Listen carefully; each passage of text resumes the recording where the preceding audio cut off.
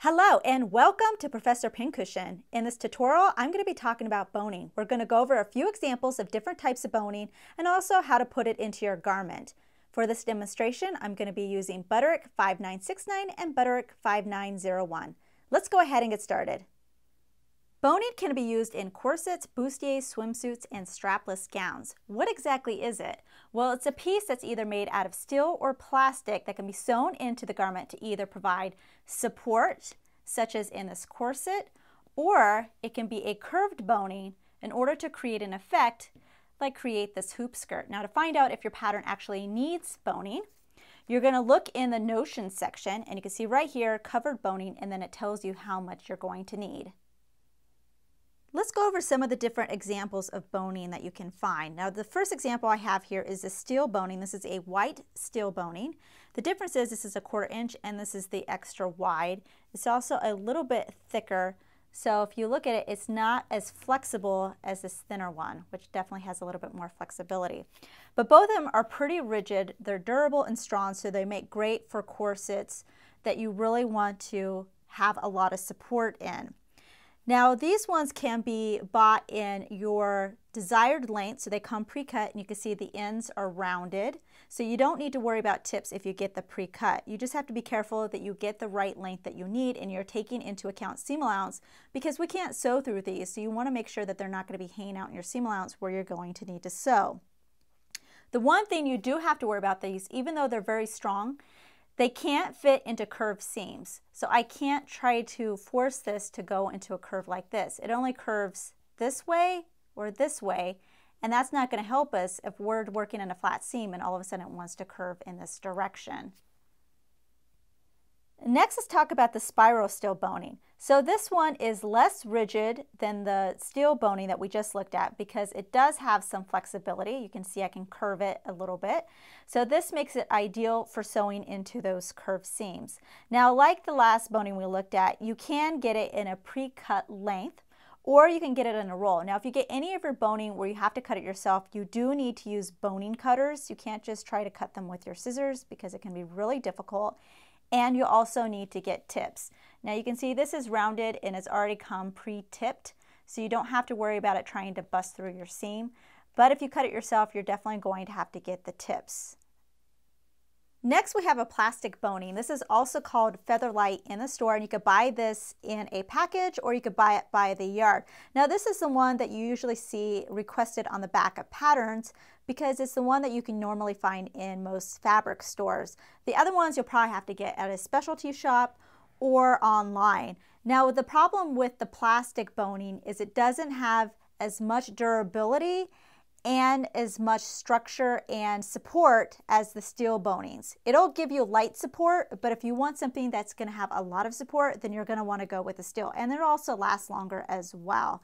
The nice thing about this is it is easy to work with. You can cut it with scissors, so you can cut it to whatever length you want, and it comes with its own casing. So you can see here's the plastic boning inside, and then we have the casing because you need the casing in order to sew your boning on. So with the other two bonings, you can either buy pre-made casing, you can make your own casing, you can use bias tape, you can use ribbon, or you can use a channel that you can actually sew onto your garment using the seam allowance. The last boning I'm going to talk about is the Rigilene boning. Now this boning you can see is made out of plastic as well. And the nice thing about this boning is the only boning that you don't need a casing for. You can just sew it directly to your fabric, either with machine or with hand. You can see it's very light and flexible. Not so much for curved seams though, because it only curves this way or this way. The thing about this is it provides very light support. So it's not really meant for support. It's mostly used for shaping your garments if you want to give your garment an interesting shape. And the nice thing is that you can hand wash it or you could dry clean it. The steel bonings here, these ones are dry clean only. If you want something washable, you can use the plastic boning. You just need to make sure that you pre-shrink the casing of the boning first. You don't need to wash the plastic, of course, just the casing, and then that'll make it washable for you.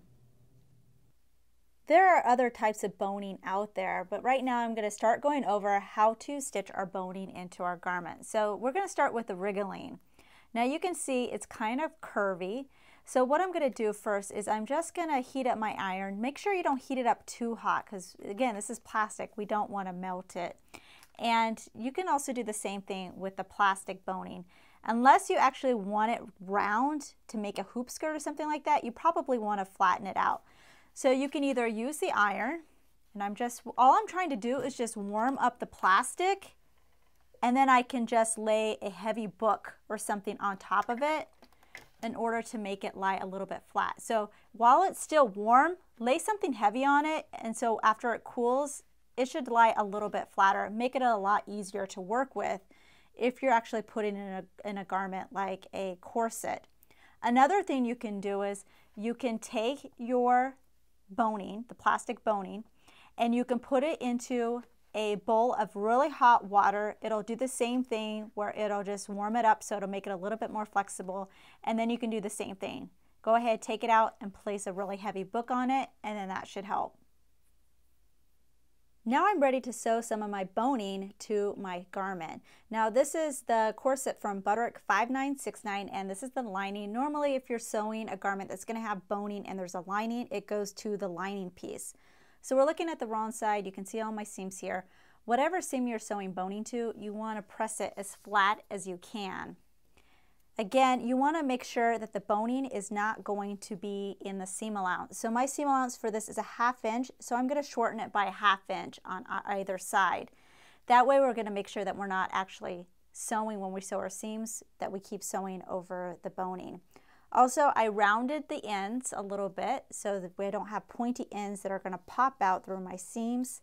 And just to protect it even more, Either use a piece of cotton or in this case I'm using a little bit of grosgrain ribbon. And I'm going to put the grosgrain right over the ends placing my boning right in the middle of that seam allowance. And I'm going to do the same thing on this side right here. And if it's really hard to hold this all down you can go ahead and use a little bit of fabric tape just to hold it into place because I know with pins it's going to make it really difficult and then all you're going to do is you're going to sew a perimeter stitch around the boning. So I'm going to go across the ends, down the side, across the end, and then up the other side as well. Because this is really thick, you might want to use a heavier needle um, just so it goes through it a little bit easier. As I'm sewing, you can see I'm just hugging that edge of the boning. I want to make sure I don't get this fabric or ribbon caught. So I'm going to put my, my needle down, lift my foot, and then put it back down. Once I get to this corner, let's get a little closer. I'm going to leave the needle down, lift the foot, and I'm going to pivot. Then I could sew across and I could do the same thing when I get up on this side and then sew all the way over. So leave the needle in, lift the foot, and then pivot and sew the other side.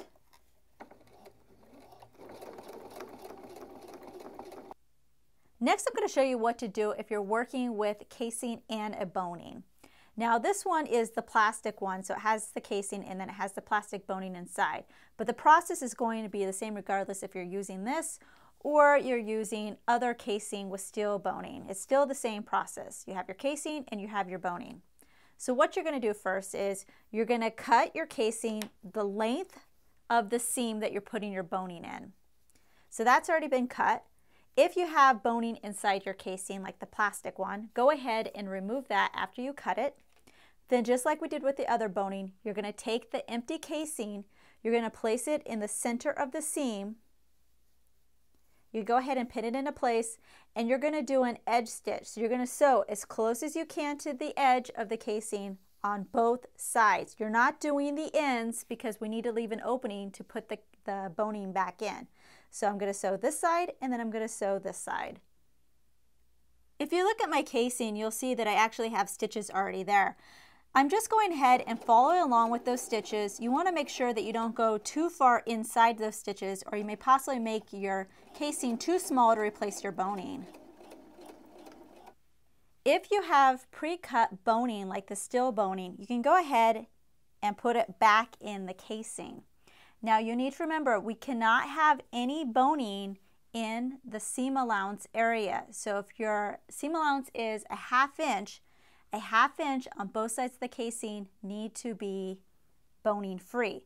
So you need to take that into account when you order your boning.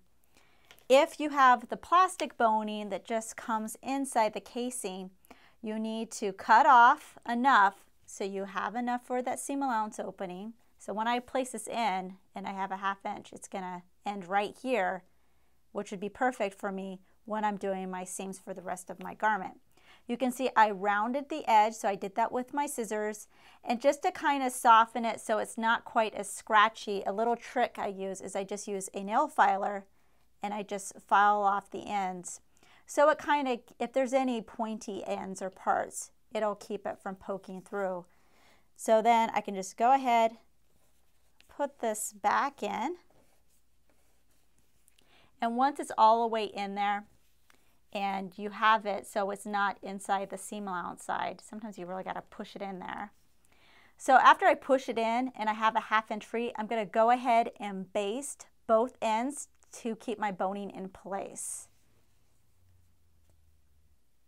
We're now going to go in a different direction and talk about boning in order to create shape like we have with this hoop skirt here. Now, normally you can use hoop boning. I don't have any, so I'm just gonna go ahead and use my plastic boning because it also has a natural curvy shape like you can see here. And that's the shape we're trying to achieve. You're gonna take your casing and you're gonna place it horizontally across the skirt. It's one single piece that starts at the center back seam, goes all the way around, and then ends up right back at the same spot. Now you don't have to use boning casing per se. You can use ribbon, you can use twill tape, uh, you can also use bias tape. You just need to make sure that it's going to be bigger than your boning so we can go ahead and slip that in. Now what I'm going to do is I'm going to cut my boning so it's actually one inch bigger than the length that I'm going around here. And you'll see that my casing isn't all the way stitched down to the center back seam. I'm leaving about an inch and a half gap of not having it sewn down. So it gives me a little room to work here.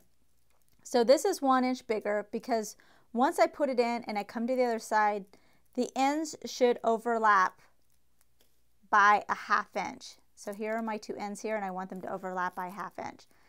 Now you need to be careful when you stick it in the casing that you're paying attention to the shape. You'll see it has a natural curve and we're looking at the inside of the skirt here or the wrong side and you want it to curve around your body. So when we're placing this in, looking at the wrong side, you're going to place it so it naturally wants to curve up. So I'm going to start at one end, stick it in, and then once it comes back around on this side, then I'm going to overlap them. So here we have them overlapping. Now you can purchase something called a hoop connector, which is something that you can put over these ends to connect them. I don't have anything like that. So we're just going to follow the directions that's in the butterick pattern. So once they're overlapping, you're going to get some glue. You're going to put glue in between them and you're going to hold them together till the glue is dried. I'm then going to grab some heavy duty thread and put it on my needle here and I'm just going around the two overlapping boning pieces. So I'm going under and over and I'm just doing that quite a few times. Then I'm going to grab some more glue, put that over my thread because I just want to secure everything and make sure that these aren't going to come apart again. Once it's dry, we're just going to pretend like my thread is no longer here. You can go ahead, put down the casing again. If you have raw edges showing, you can turn them under. And then you're going to finish stitching the top and the bottom so then everything is secured in. After that, my boning hoop is in and this part is done. We hope that you're able to use these tips in working with boning for the next project that you have. New tutorials are released weekly, so please subscribe to be notified of the next release. Make sure to check out our other videos and visit ProfessorPincushion.com to view our complete library with well over 200 sewing video tutorials, including our exclusive premium content. Our premium membership is only $5 a month for unlimited access and only available at ProfessorPincushion.com. Also, don't forget to download our mobile app for videos on the go. Thanks for watching.